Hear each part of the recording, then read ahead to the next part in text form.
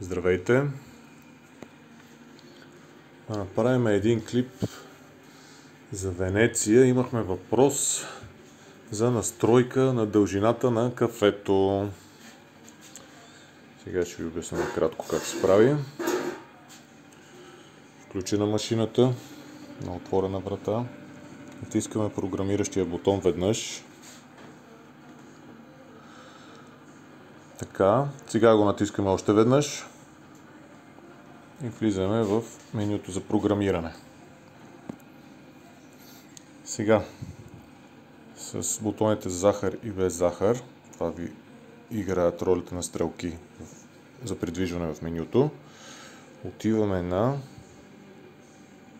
H2O. Това е за дължината, водата на напитките. След това се влиза с този бутон долния под двойната доза захар. Така. Сега това съкръщение няма да ви ги обяснявам всичките кое какво значи, ще ви обясня само за кафето. С стрелката преминаваме на преминаваме DC, DL, CC. Това ви е кафе късо. CL е кафе дълго. Това, което трябва да знаете на този етап. Тук са вече, това мисля, че беше кафе с сметана и нататък има капучино, шоколади. За сега ще ви трябва само кафе и дълго кафе го запомнете. Ако имате въпроси по-нататък ще доуточним някои други параметри. Да не ви затормозявам с излишна информация.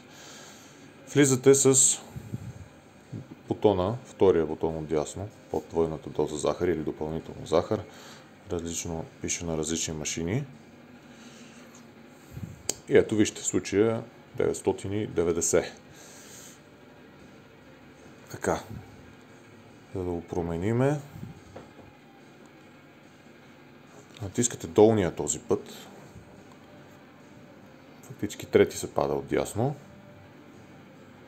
и започва да мига. Щом почва да мига, вече може да играете с стрелките, да увеличавате или да намалявате.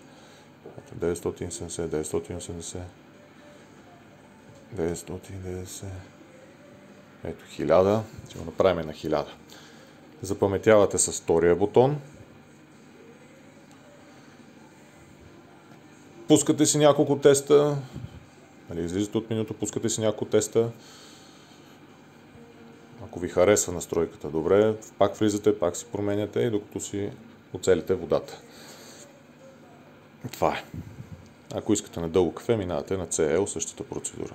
Така, долния, ето тук е по-високо, личи, че е дълго кафе. Сменяте повече, по-малко, през 10 са. Еде, заяда бутона. Потвърждавате да спре да мига. Още веднъж. Тук се излиза с този бутон. Е, как не ми е удобно. И така.